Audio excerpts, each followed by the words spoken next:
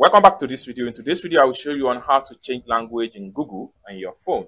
So let's meet. But before we dive into the tutorial, if you find this tutorial useful and you are very new to this channel, remember click on that subscribe, turn on the notification bell for more useful tutorial like this.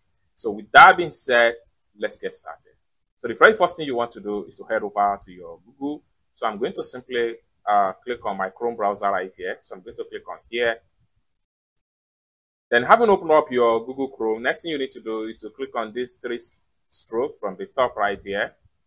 So click on that. This is going to pump up. Next thing you need to do is to click on settings.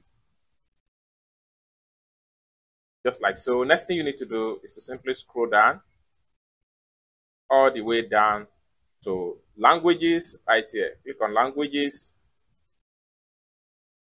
just like so, and you will be present with so many languages by default right here. Now, my default language right here, I have English, I have Chinese, I have Bambara, I have Yoruba. Then for you to add additional language, you can simply click on here and then select another language from here. So you can scroll down. There are a lot of languages that you can simply choose from this section.